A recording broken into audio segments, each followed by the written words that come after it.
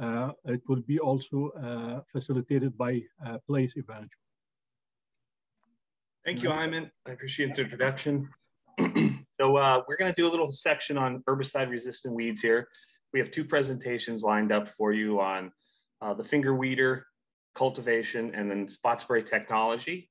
Uh, but I want to give you just a little introduction and, and idea of where we're, what we're working on and why we're working on this. As many of you know already, it's no surprise to most of you that uh, Palmer amaranth in particular is kind of running rampant through our, our field crop production acreage here in central Arizona. Uh, but that's not it. It's, it's actually from, from southeast to west where all of our production areas have pretty much been in, inundated by some way, shape, or form by herbicide resistant weeds. And the more herbicide resistant weeds we get, we just uh, lose a tool in our in our toolbox and, and makes everything a little bit more more difficult to control and a little bit more expensive to control. Uh, and with with the way everything is, crop prices well, crop prices aren't so bad right now, but uh, operation costs are going up. And you know the bottom line is to try to make a profit where we can. Otherwise, we're not going to do business very long. So uh, to control this Palmer amaranth in particular, uh, we've we've kind of lost control of it, I think, uh, to some extent. There's huge populations uh, in Marana, in Coolidge. There, I know there's some in Stanfield. I've seen quite a few populations in around in and around Casa Grande, and it seems to grow more and more rapidly every year. Uh, I've been around now. I think this is my fifth cotton season, and while there was some five years ago, it, it wasn't nearly as widespread as it is today. in this plant, uh, just to give you an idea, of the beast that we're dealing with. This plant is, it's a a C4 plant. It grows at approximately 2.3 times the rate of your cotton crop. So that's why when you see your seedlings in the ground and you have germination with your cotton seedlings and Palmer amaranth at similar time, those Palmer amaranth plants just jump out of the ground and, and just shade them out and suck all the nutrients and water away from your cotton crop. So if you're not getting on top of those plants early, to kill them. And if they're Roundup resistant, herbicide resistant, man, you're going to be in a, a world of pain. So one of these plants, uh, if a big, big female is kind of growing by herself, she can produce up to 1.5 million seeds, one individual plant. Uh, so you can imagine if you have a, have several of these big resistant plants throughout your field, you're going to have you're going to have a full field of Palmer amaranth in, in no time flat. Uh, some research that's been done shows that a small population in year one that's unmanaged and allowed to spread turns into approximately a 20% uh, infestation the second year. And then the third year, we're seeing 100% crop loss. So uh, it's, it's, it's, it's incredible how fast this, this weed and this pest can run through your field and just annihilate your production. so we've, uh, long time Bill's talked about the strategies for controlling this pest. I, oh, sorry, no, I don't have any slides. I just wanted to give an introduction, Peter. Uh, I mean, you want to stop sharing so at least everyone can see me? I don't know if that's a, a, a pro or a con seeing me, but it is what it is. Um, but no, I don't have any slides. I just wanted to give an introduction. Okay, thanks, Peter. Um, so we have uh, Bill's Bill's talked countless times about effective tactics to work on this on this problem on this pest. We really need to identify it early. If you have a small patch in that field, you got to get on it, jump right on it, and and pull it out, rip it out, do whatever you have to our pre-emergent pre-emergent herbicides work incredibly well on this on Palmer amaranth. Um, just putting them out and, and incorporating them pre-plant devastates the population of Palmer amaranth and really allows you to control it. and then rotating your chemistries. You know, don't rely on one chemistry time and time and time again, which kind of happened with uh, glyphosate, which is why we're why we're kind of reeling it, reeling not having it. So, and then, and, you know, cultivation, while we're not, lots of people sold off their cultivation equipment years ago. Uh, I worked with a grower this spring who wanted to put pre-emergent down, but didn't have any way to incorporate it into soil other than just irrigating it in. But, you know, getting back to, if you know you have a problem, getting back to cultivation is, is a, is a really strong way to control that population. And of course, eradicating any escapes. Uh, that not only includes in your crop, in your, uh, in your cotton crop or alfalfa crop, it also includes around your, your equipment yard. It includes ditch banks, roadsides, anywhere where you have escaped weeds. Uh, just, we got to control them. Um, it's, it's slowly slipping away and, and, but we still have time, I believe, I really do. So a lot of those tactics I just mentioned are gonna are gonna be displayed for you today. Uh, cultivation, you know, standard cultivation is is great. Uh, Mark is going to go over some cultivation equipment that is going to get you closer to the plant. It's also going to be able to take out some of those weeds that are in your crop row. Uh, Pedro is going to discuss uh, spot spray or uh, see and spray technology that'll be able to, you know, open up your bag of, of tricks to, to take out this, this pest. So with that, I'd like to, I'd like to welcome in our first speaker on this topic, Mark Siemens. Uh, you may have seen this finger weeder before. We've shown it at a couple different meetings in the past, but I just, uh, we wanted to get it, get it out to you guys again so you can see the technology, see how it's working. And then secondly, we're gonna follow up with Pedro Andrade and that, and that spray technology. So I appreciate you guys listening. Uh, this is, this is a kind of one of the top priorities on my list. Uh, I've just seen it spread so much over the past years, and I feel it's one of our most important uh, one of our most important pests right now, and we really need to we need everybody to work together to get on it.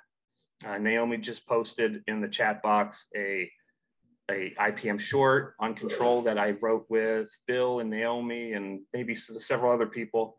Uh, please take a look at it, read it over, and then shortly later on this year or early at the end of this year, we're going to put out a chemistry list uh, for different lay-by or different lay-by sprays and pre-emergence and kind of a all-inclusive herbicide list. So again, I, I, thank you guys all for listening to me.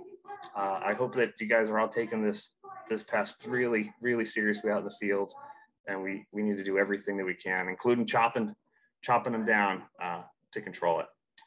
All right, so Mark, if you're ready, I'd invite you to share your screen and take it away. I am ready. Can you can you guys see my screen? I'm just seeing kind of a gray box. Gray box. That's very good. Uh, news. I can. How about now? There you go. Now it looks good. All right.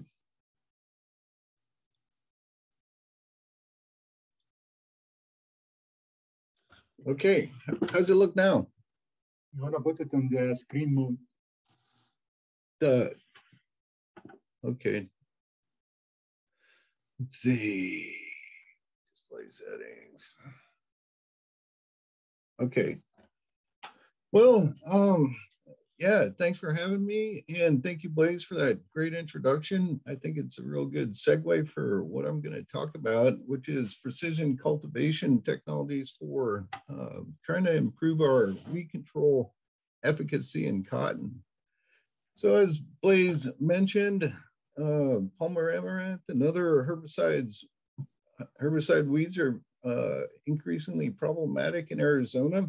And cultivation is a pretty effective management tool. Um, there, there are some limitations with uh, conventional cultivators. One is they only control the weeds in between the uh, crop rows. They don't control the weeds in, uh, in between individual plants uh, within the seed row.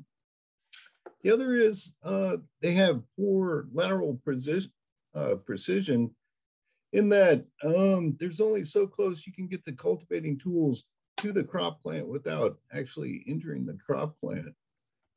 So the, the tools we're looking at um, are, I, I call them new here, but they're not uh, actually new. Um, the first is finger weeders, and finger weeders have been around for a long time. I think they were uh, patented back in the 50s and are, are still around. Mark, and are you advancing? Mark, are you advancing your slides? I should be. Because we cannot see it because they are not on the presentation mode. You want to like have it as a slideshow? I'm not in the present. It's showing as a presentation on my screen. So Yeah, we had this, we had this same problem uh, in this morning's meeting. Uh, what we had to do was go out of presentation mode and then just kind of click through them. I don't know if it's a new problem or what. It was the same exact problem. Yeah, my problem is I, I have two screens, um, which might be part of the problem. Between Yep. the two screen. I'm So, sorry? Mark. If you want to, if you want to stop sharing this screen and then put your presentation in presentation mode and then go back to share screen and you can select the presentation mode, that screen.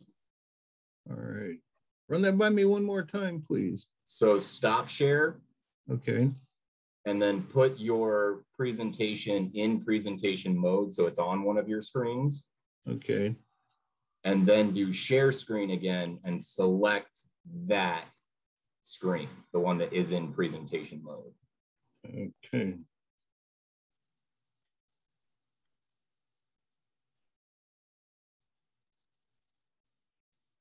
Uh-oh. Am I still there? You look good. We got you now. Who needs IT Okay. when we have Kyle? Yeah. No. Man behind the screen. Oh my Pay no attention to the man behind the screen. Gosh, my screen keeps glitching on me. Is it glitching on for you guys? Mine keeps coming in and out of um Looks good on this end. There is only this like uh, gray square on the top. Now it's gone. Okay, screen sharing has stopped because the external display is disconnected. All right, let me try one more thing.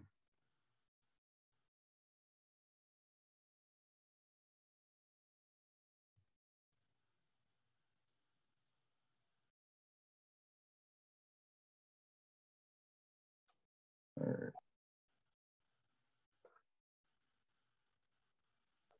Your screen. Okay. How's how's that? That's good. Looks good. Oh, good. All right. So uh, finger weeders, um, they are like I said, they've been around for a long time. It's basically a, a fingered wheel made of flexible rubber, and you position these wheels uh, kind of adjacent to each other with the finger weeders overlapping a little bit uh, right on the seed line. And the way it works is you have some uh, opening, some discs out in front, which open a furrow. They leave a uncultivated strip um, in between the two wheels, and then the wheels are, are ground driven. And as they are move forward and, and spin, they kind of crumble or um, till uh, the soil in between um, the two wheels right in within the seed line without um, injuring the uh, uprooting the plant. So kind of a unique feature or interesting design feature of these finger weeders is that they're uh, ground driven by steel pins and the diameter of the uh, or the circumference of the wheel that these uh, steel pins are on is slightly smaller than that of the uh, finger weeders. So the uh, ground speed of the finger weeders at the tips themselves is slightly faster than your forward speed of the tractor. So um, that, that causes a little bit of uh, uh, increased agitation and does a better job of uh, removing weeds. So let me see. Whoops. Okay. So the other technology we're investigating is again not old um, or new. Um, these are uh, camera guided side shift uh, hitch systems. And basically they're comprised of two components. The, the uh, one side of the hitch is attached to the tractor and that's the fixed component. And the backside of the hitch is attached to your implement. And the, the backside of the uh, hitch can move uh, side to side relative to the front part. The system uses a, a camera-based imaging system to detect the crop, crop rows. And all right. And that information is fed to a onboard computer uh, that you uh, can mount in your tractor cab and control the uh, position of the hitch automatically. Should have a video here. Let's see. Is the video playing?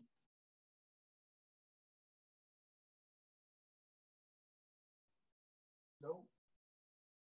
Oh, that's gonna, You need to hit the play thing.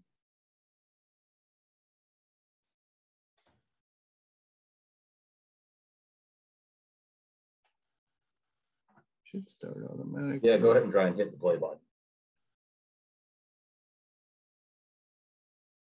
It's not. Interesting. Maybe try hitting the space bar. No, so that'll, yeah, that's something with the video itself. Um, uh-oh. Share screen. Should I? Maybe, whoops. Back to Zoom.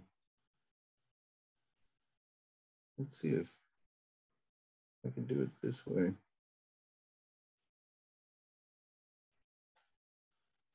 Okay.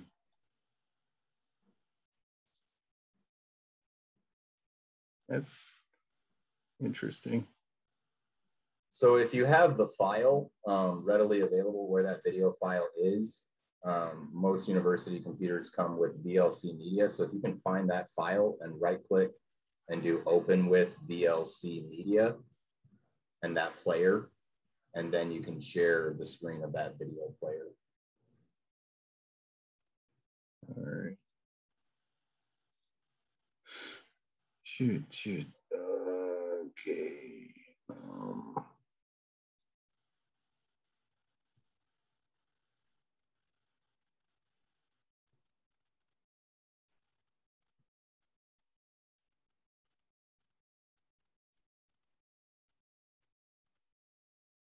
all right. Thought I had it handy.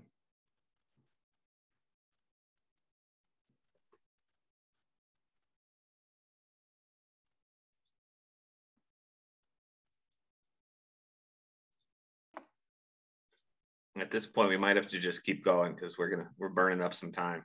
All right. Okay. We could attach the video in the in newsletter. All right. Open with, uh, how'd you say to open it? Thank you. Ken. So if you right click on the file and then there should be an option of open with, Right. and then it'll open up another category. It, it looks like a little uh, construction cone, VLC, Victor Lima Charlie. Yeah, I'm not. I'm not seeing that. So shoot. Okay. You can try QuickTime Media or um, Windows Media, see if it'll, but generally if it's not going to play in PowerPoint, sometimes it, there's something wrong with the file. It might not play those either. Let's continue with presentation and then we can provide either link or file for this video. Yeah. Okay.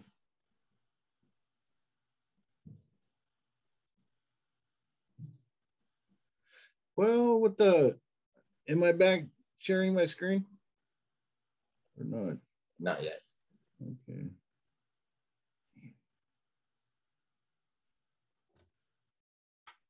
All right, so what the video was gonna show was uh, how the, the side shift hitch system actually worked. Um, basically, it, it moves a, a inch or two side to side, and it, it was pretty uh, impressive how much it actually. Uh, I was kind of surprised how much it actually moved on a on a regular basis. So the uh, third technology we're looking at is um, one I'm sure you're pretty familiar with, and that is uh, auto steered tractors. Here, the idea is to use uh, uh, auto steering to uh, improve the steering capability and position the cultivating tools a little bit closer to the crop row itself and um, control a, a few more weeds. So the, the um, treatments we've been looking at over the course of the last three years are listed on the screen.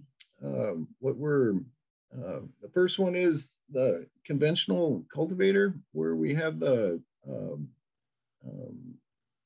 uh, cultivating tools uh, positioned about eight to 10 inches apart. So our uncultivated band is consequently eight to 10 inches. The second system, we had the tools placed about six inches apart and we tested this with and without the finger weeders.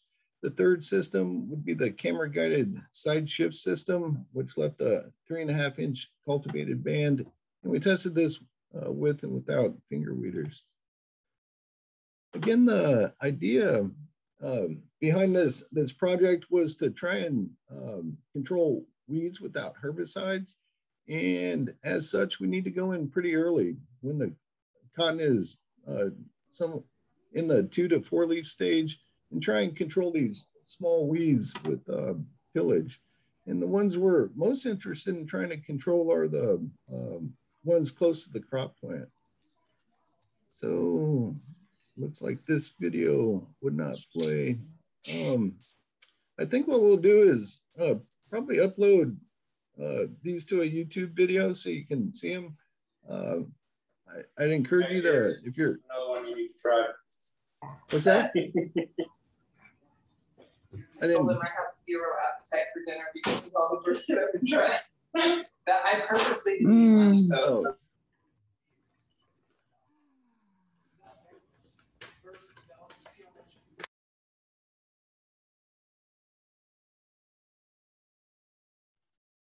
All right, I'm back.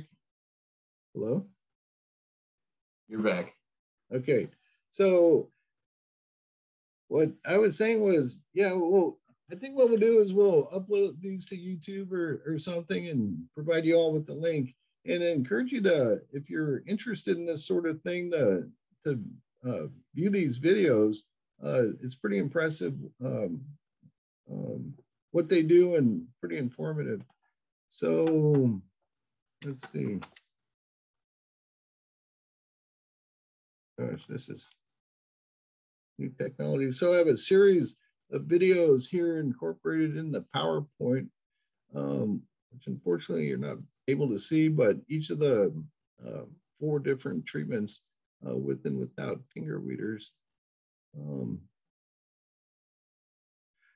but fortunately, I have this slide. Uh, this this slide shows what the treatments look like um, after tillage. So in the upper left-hand corner is the auto steer tractor, leaving a six inch uncultivated band. In the lower right-hand corner is the device, um, uh, same setup uh, using the finger weeders.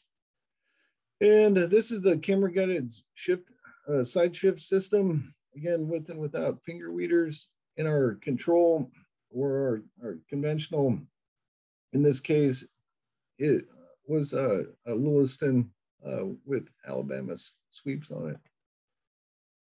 Here are some of the results from the study. I picked this particular data set out of the three years uh, of work we've done with these systems because it, it pretty much shows, um,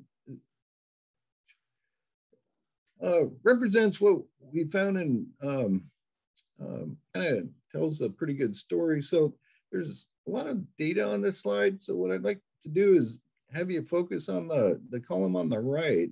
And what we're finding is there really isn't much advantage to using the GPS RTK uh, system, the auto steer on the uh, tractor as compared to uh, conventional.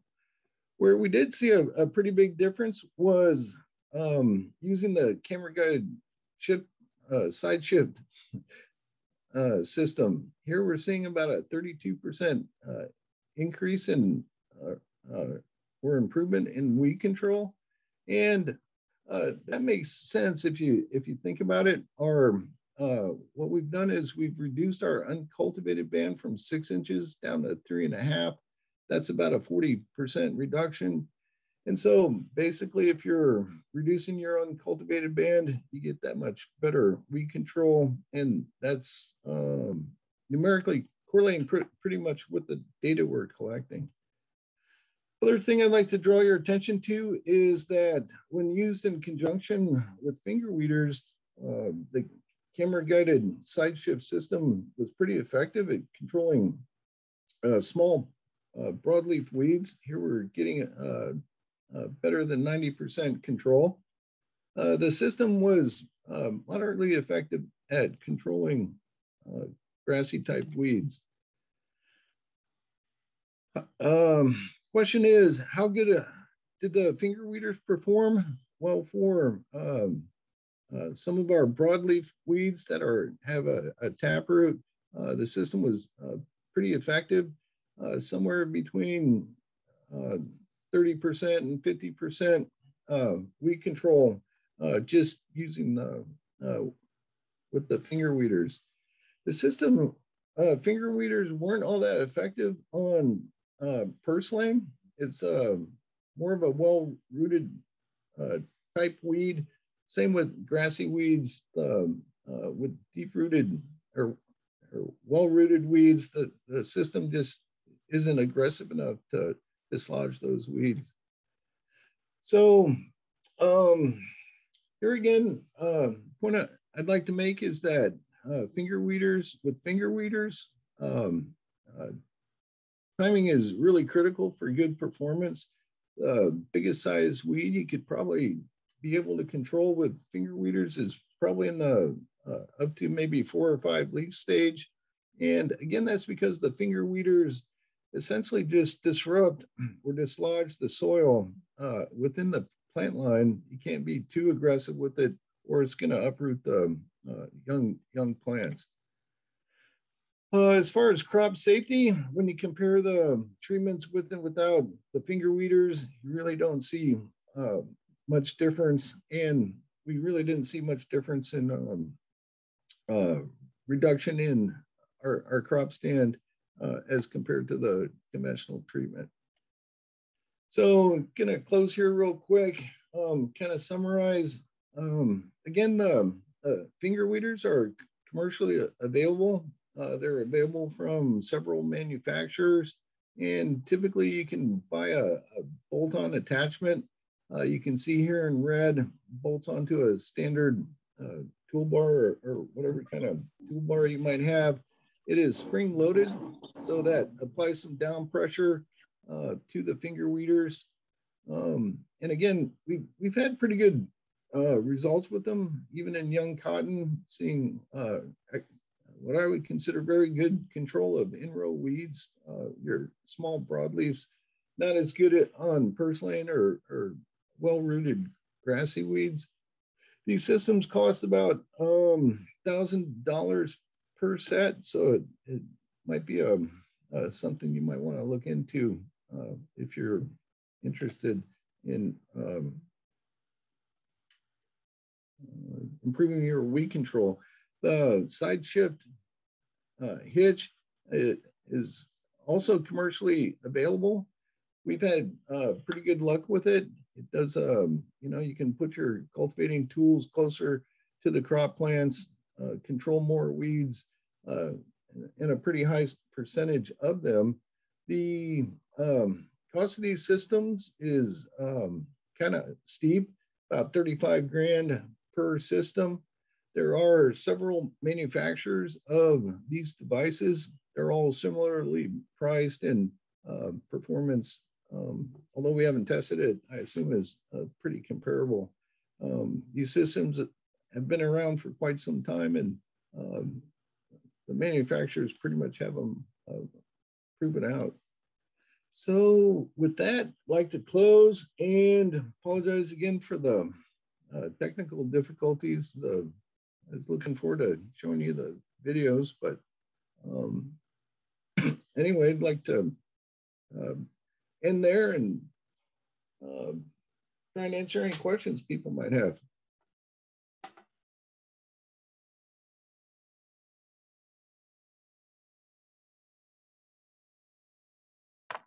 Anybody got any questions for Mark?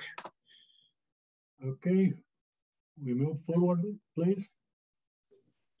Next, we have uh, we have Pedro Andrade who's going to talk about uh, our see and spray or scan and spray technology.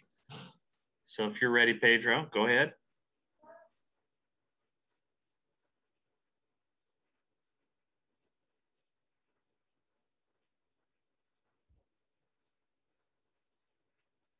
Okay, so um, I just wanted to uh, recap on a few points that Blase and, and Mark made, and that is um, we are moving into integrating more, more options. We believe that the more options there are, the more flexible the, the system will be, the solutions that we will develop will be so that um, we can have good control, good um, um, weed control.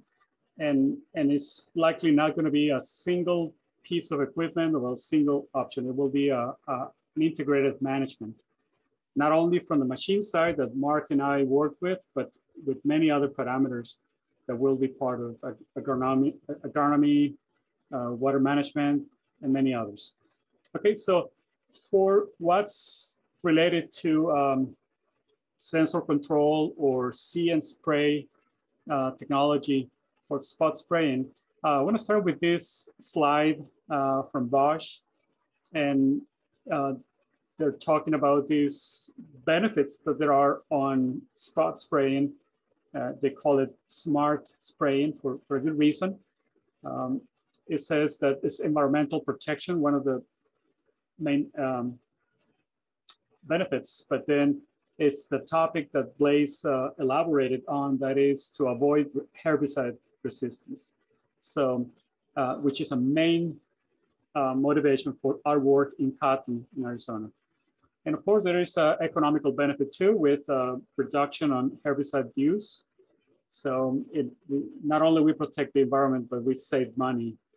Um, in this diagram, what you see is, is this concept of spraying only the weeds, only certain uh, plants that are in the in the in the field. Uh, but the other thing that you can see, um, not so clear in this one, but in other slides that I have, is that we don't we don't spray herbicides on fallow land. Um, it's not a practice that we we use in Arizona, or at least it's not a common practice. So what you see in this uh, big sprayer with a very, very long boom and so many nozzles and, and sensors. Actually, what we're looking into is what's our system uh, composed of and, and, and, and adapt to that size and row configuration. That's critical for our work.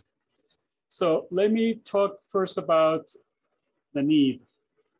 Uh, this is documented in many, many ways, the benefits too, in, in terms of savings, but I'm going to bring this from the from the element of the need to have technology that is selective. That's going to be applying herbicide only when there is weeds. This particular field in Yuma, Arizona, we scan it, and and um, what we did uh, to some uh, classification is that we separated those those areas, and in this case are presented by circles um, where we only have crop, no weeds, just the crop. And that is uh, the what's on red, pink, and yellow. And the other colors, which is the green all the way to the purple, those are a mixture of the crop plants and the weeds. So only from that perspective, very, very general, you see that there is tremendous variation so we can target. It makes sense to have a targeting system that will be um, acting when um, when uh, there is a need for for a, for sprayer.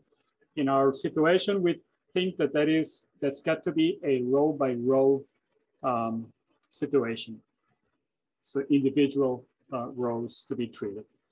So that is some kind of a background. Let me continue with background and now explain the technology itself. This um, slide, these images come from, from Weedseeker. Uh, used to be called, and used to be manufactured by a company called NTech, and now it's uh, Trimble. It is a Trimble product. And you can see there that is the, the principle is illustrated fairly simple. On the left, there is number one with some light that is um, directed towards the plant. Number two is what amount of that light bounces back. The difference between those two amounts that are recorded and, and processed very, very quickly is what determines the status of the spray nozzle, which is number four.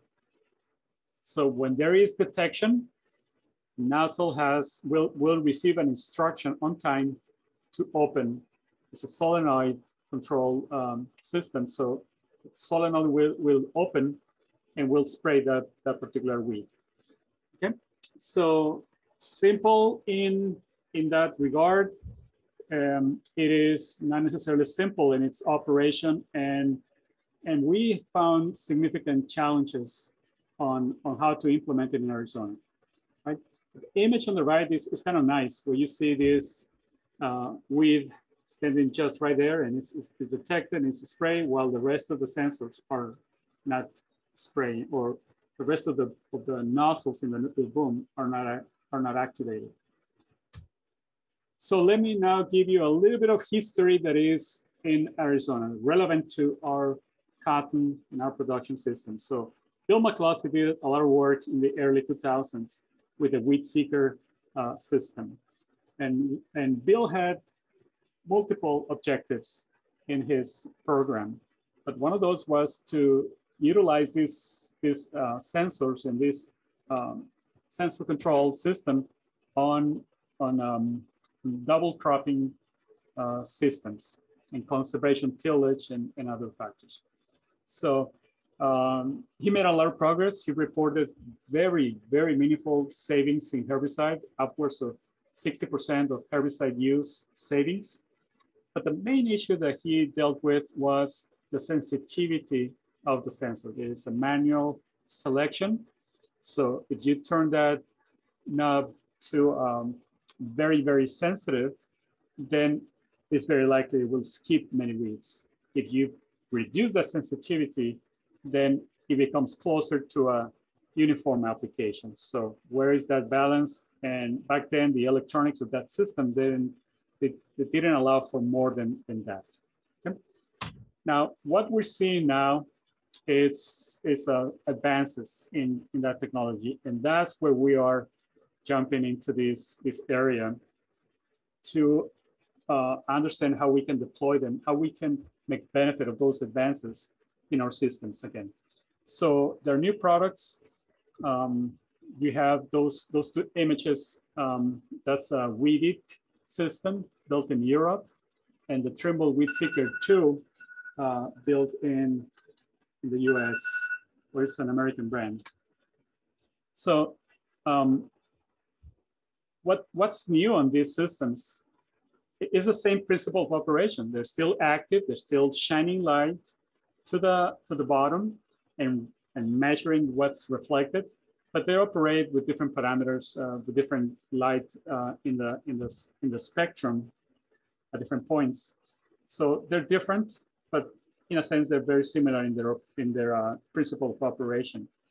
There's a newer system just released by John Deere back in March, I believe, and that is the the See & Spray, where their system uses a camera and uh, we had a meeting with with the guys from from John Deere, and and they have tested their systems, uh, moving at 12 miles an hour, and uh, not missing weeds that are quarter of an inch in diameter. So it's very impressive. It's all based on the algorithms, uh, but that is a camera-based system. It's an imaging system, whereas these two are reflectance-based uh, sensors. So great improvements on weed detection. That is, that is the, the main thing that I'm bringing with the newer models. And that is uh, they adjust their sensitivity automatically. That's, that is the improvements that come with um, more computing, computing power and algorithms uh, in the firmware. So, but again, um, interestingly enough, both of those pictures are from a open field condition, whether it's fallow or there's something uh, bare, something green, uh, we want to use them in our row crop operations for cotton. So uh, we need to work on hardware configurations, how we want to distribute those sensor heads. Is it one per row or two per row, for instance? That's, that will be one question. Um, uh, shield, we, we think that by improving on the shield of the crop and moving it away from the center, uh, we can expose a larger section of the furrow and uh, and the plat and the part of the of the bed where we can still spray and not be um, and not be um, triggered by a cotton plant. We want to be triggered by weeds only. And many operational parameters that we need to, to test, uh, how fast the sprayer can go, for instance, that will be a very important parameter. And, and the, the height of the sensor will, will affect the field of view. So how wide is that swath that's been scanned? And also it, it, it will reduce the signal strength. So gotta, we're looking for that medium that is the happy medium that can be um, used in Arizona. So in 2020, we started this work, and this is still fairly new. I call this preliminary work because we got this uh, particular sprayer uh, in October or yeah, September, October timeframe. So it was at the end of the season and we did as much testing as we could, but it was just so new. But uh, we, we tried out and we did some work. And this is the, again, this is just an image of the, of the field in Maricopa. We also took it to Safford and the Safford Ag Center. And that's where Randy Norton did the first evaluation. So what you see there on this graph chart is that percent of small weeds that, that are controlled. Okay, so Randy decided to dedicate his, his evaluation to only those, those very small weeds. I think he mentioned the size of, um, of a quarter, uh, 25 cent uh, coin. So we start the, the, the graphs from full on, that means uniform application. Of course, that killed every single weed that was in those, in those runs. But then we go from sensitivity one to sensitivity five, which just five levels. This particular system has five levels that you can that can be selected. Within those five levels, then the system operates on different algorithms. Um, and you see that there is a significant uh, decrease in efficacy as we move to um, to higher uh, number in the sensitivity. The number five means means nothing. It's just, a, this is the fifth, um, the fifth uh, sensitivity level. Okay? So it, it is always a trade-off. You can save more uh, herbicide by, by going to a higher number in the sensitivity chart. Okay? And uh, you have better control if you are on the other side. So those were the initial results. Um, we also run some tests here in Maricopa, where I am at the moment. And um, I didn't have the resources to do uh, counting of, of, weeds. So uh, I implemented this system to, to measure the reflectance of the weeds. So that's what you see in the pictures of the, on, the, uh, on the left. And then the picture in the middle shows you how we set up these shields to push away the cotton plants. And, and what the sensor is, is um, registering is exclusively what is in the middle of the furrow and not being affected by the vegetation of the cotton plants. And I ran a different analysis, but turned out to be consistent with the results that Randy uh, obtained. So what I did is I, I evaluated this based on a near infrared over red ratio. And the quantities that you see in the plot on the, on the right are simply the differences between before and after application. So if that difference, that delta is positive, it means that it, it ended with a condition of less weeds uh, uh, or less biomass on weeds at the end. And that's T1. But then you could see T5 where it was totally the opposite. The uh, control was was so deficient, then um, we have a substantially higher amount of weeds after um, in our in our scan after the application.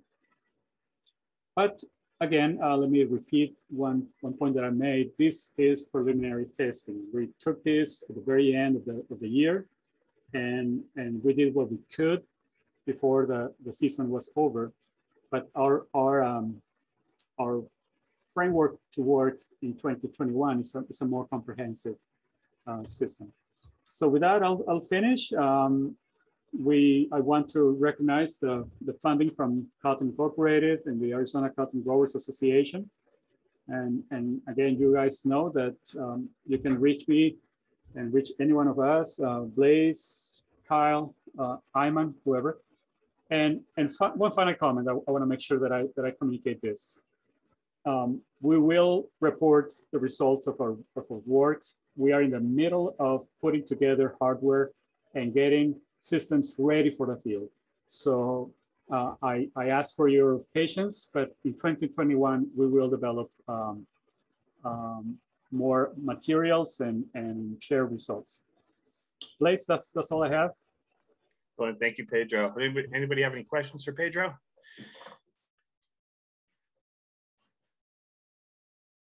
Like we're slim on questions today. All right, well, I would like to thank Ayman and Kyle for giving us the time to talk about herbicide resistant weeds and, and control tactics. Uh, I'd also like to briefly mention that we will be working on mapping resistant palmer populations throughout the state this summer. So we're going to be looking pretty much after lay-by throughout the state to see where there are obvious populations still present in fields that aren't going to be able to be controlled. Um, and we're going to map those populations out. and we're going to try to increase education about resistant uh, resistant weeds and resistant palmer amaranth throughout the state as well. Uh, and to do that work, I'd like to I'd like to thank Arizona Cotton Research Protection Council, who's going to be assisting me in the mapping and, and giving me the, the baseline maps to work with. Uh, Arizona Cotton Growers, uh, Arizona Pest Management Center, Corteva, BASF, NextGen, and Bayer, who are all either providing knowledge uh, and support for this or financial funding for for this work. We appreciate it and you know we couldn't do it with all your help i'd also like to thank kevin caffrey and, and bill mccloskey obviously they're two weed scientists that are paramount in, in really helping accumulate this information and disperse it to all of you and make sure it's uh, legitimate and, and, good. So uh, i thank everybody for helping us with this and i really you know charge all the growers and pest control advisors to keep pushing pre-emergent herbicide, multiple uh, chemistries across the season, rotating chemistries from season to season, and really, really destroying all those escapes that are in the field. Because, uh, like I mentioned earlier, the problem's only getting worse and worse. So let's uh, make a full-fledged effort to, to handle it. And with that, Ayman, uh, thank you, and uh, turn it back over to you. Okay, thank you. So